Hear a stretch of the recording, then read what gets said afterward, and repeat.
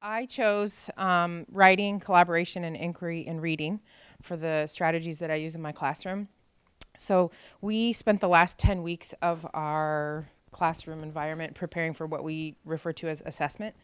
So um, after assessment, uh, we did a self-reflection and the kids critiqued themselves. So first writing, we used quick writes where I gave the kids a prompt where they wrote for, I don't even know, I, I gave them like 20 minutes to write down what they thought. Some kids were quick about it and some kids weren't. Um, and I also gave them the rubric on the other side of how the judges at our assessment were um, critiquing us so that they could re listen to their performance and critique themselves based on um, agreeing with what the judges said or disagreeing or maybe even going deeper into um, what they thought they did well or didn't.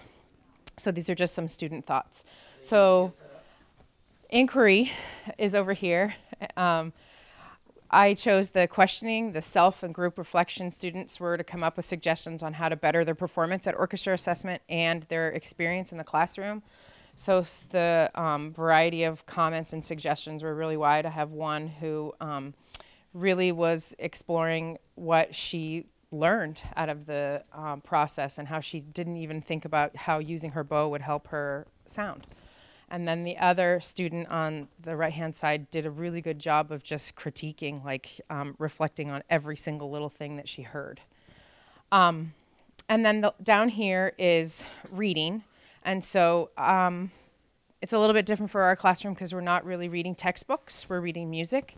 So at our assessment, our piece, we I chose Jigsaw for the um, WICOR strategy. So we, all the students received separate music to sight read at assessment. Students worked with me as a facilitator to help them through each of their music, but they're not allowed to play it. So we have seven minutes where we just look at the music and we discuss it. So after that seven minutes, where it's ba basically like a talkback ses session, the students perform the, the piece.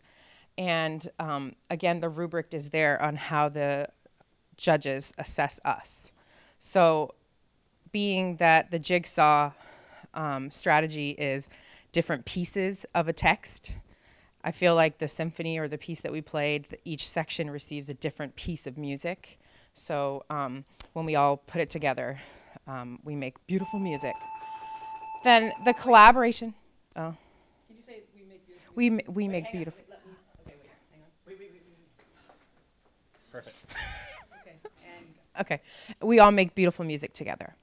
So lastly, in the middle is collaboration.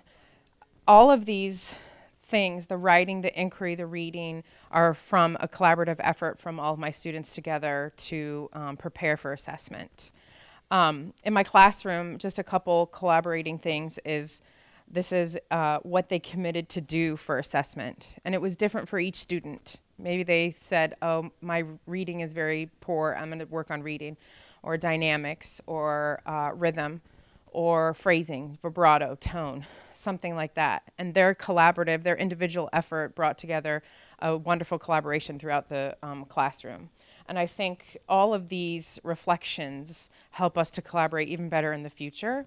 Um, so down there's just a picture of the um, assessment after the students performed. They got what we refer to as straight ones, which is superior ratings across in every single category from every single judge. Um, so the students um, collaborated obviously very well together to achieve that um, goal.